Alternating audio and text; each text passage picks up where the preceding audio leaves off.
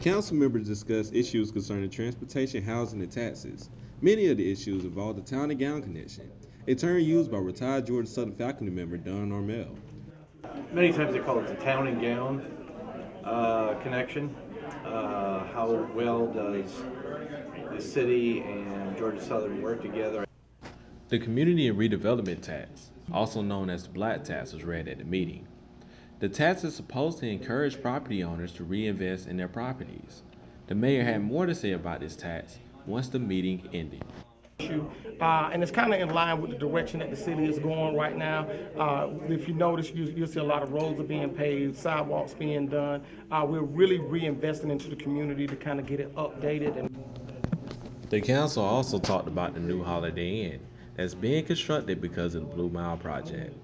General Manager of the new hotel, Ted Hasbrook, explained what the Blue Mile project means for the Statesboro community.